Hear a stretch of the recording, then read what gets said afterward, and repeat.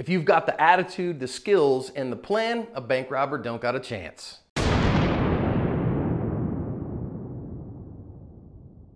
I'm John Correia, the founder and owner of Active Self Protection, and I thank you for joining us today. Today's video was sent to me by the good guy here out of Birmingham, Alabama. Many thanks to Magtech Ammunition for sponsoring today's video. It's the only ammunition that goes through my pistols or rifles and is the best stuff on the range. Guy walking in here has actually committed a previous bank robbery uh, a couple weeks before and came into this bank the day before and cased the joint. And this guy coming out here is a security officer actually sent me this footage who watched him do that, paid attention to him. So when he came back in a second time and puts a hood on his face, then our security officer goes, whoa, this is bad juju. Now, dude walks up to the counter, pulls a gun right there, shows a gun to the clerk and announces an armed robbery, throws her a bag and says, hey, give me all the money.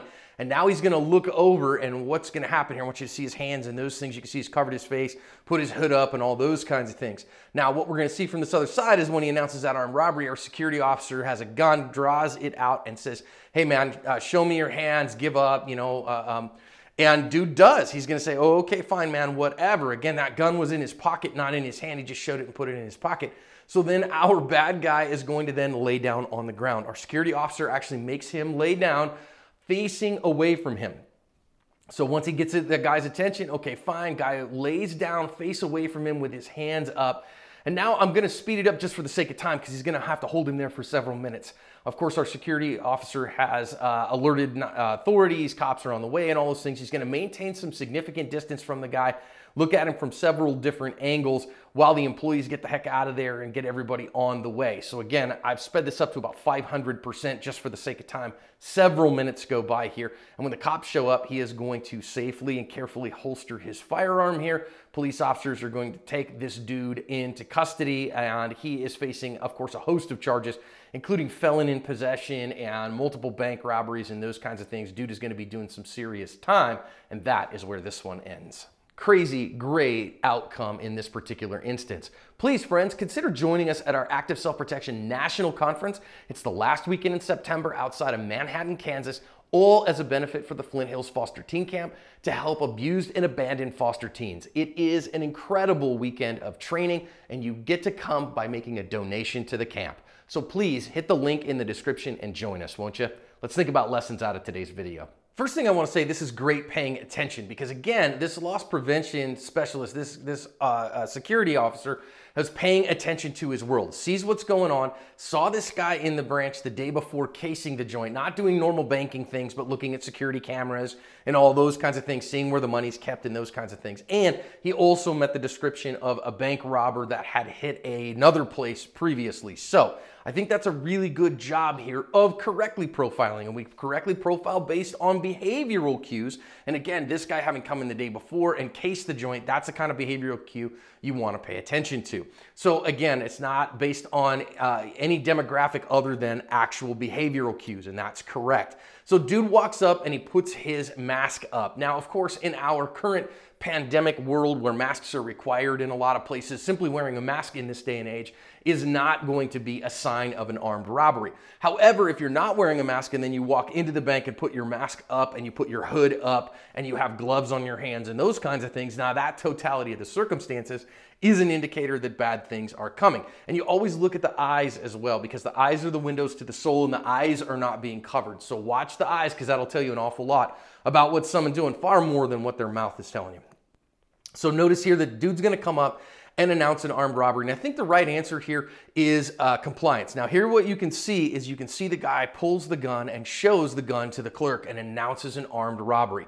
Whenever somebody shows you a, a, force multiplier, particularly a firearm, assume that they have the willingness to use it, assume that it is loaded, assume that it is real. You're under no obligations to give them any benefit of the doubt when they threaten you with a firearm, friends. And uh, of course, in this case, I think the clerk's right answer here, unarmed, those kinds of things. Just give the guy what he wants, comply and hope for the best. Probably the only thing you can do, and then let the security guard deal with the problem and the security officer deal with that. You know, you got armed security on site. Hopefully they've seen the problem and they can deal with it. uh, asking the clerk to do something about that, probably pretty foolhardy at this point. So now our guy comes up, and, and I want you to notice what the distances we're looking at here. That when he is first encountering this guy with his gun up, he's probably at about 10 yards from this guy. So having that ability in marksmanship to be able to hit a target at 10 yards. Also notice that our security officer is moving.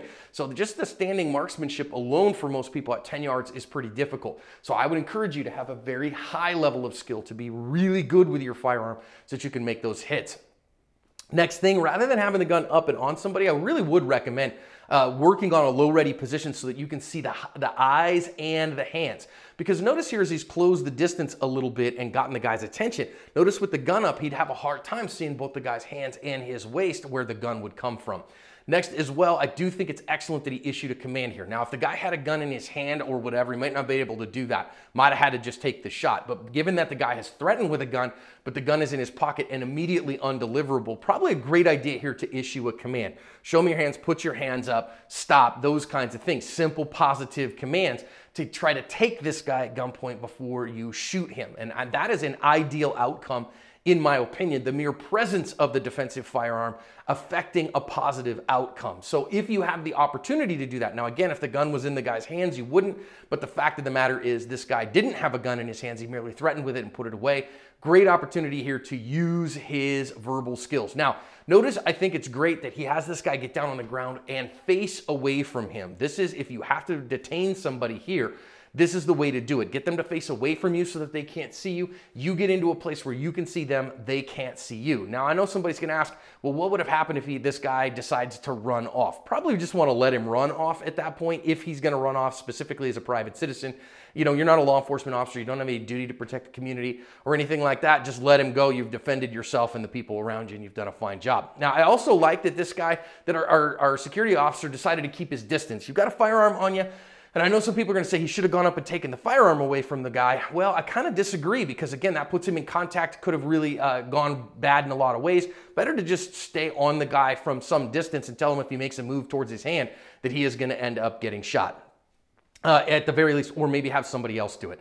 I do notice here maybe one little thing to think about is that when the cops show up, he kind of picks his muzzle of his gun up, kind of like, yep, here's my gun, I have a gun. I would really strongly recommend that when police are inbound, and you can usually identify them by the reds and blues and the sirens and those kinds of things, that you get that gun put away as quickly as you can. Whether you put that on the ground or in, you know he's known as security or whatever and they say hey the known security guard and this is what he looks like and here's what it is get that gun safely carefully put away and notice here that our guard our, our security officer puts the gun away by looking it into the holster. He, he kind of, you know, fished at it a couple times, said, no, I can't do that. So then he looks his gun into the holster. It's one of the reasons that we talk about putting the gun in the holster and looking it into the holster is because under stress, you're probably going to want to do that because you're probably adrenalized. It's more difficult than you think. You're wearing an inside the waistband concealed holster, not like a police officer. So look the gun into the holster, did okay at that. Now, uh, and then the cops are going to come and get this guy's facing a whole host of charges. So I really think this is a pretty ideal outcome here in terms of a good guy win.